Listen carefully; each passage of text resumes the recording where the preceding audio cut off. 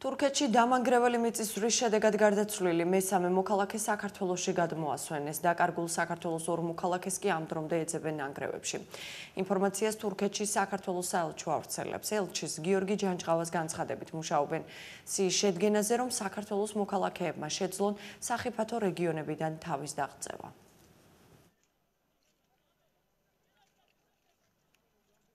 საძიებლად მარტო ორი კაცი რა დაგვჭა ერთი არის ის რომ იმ შენობიდან რომლიდანაც სადაც გვეგუნება ჩვენი მოქალაქე უკვე რამდენიმე მიცვალებული ამოიყვანეს და ველოდებით სულელობას ოპერაციის ანუ სამაშველო ოპერაციის.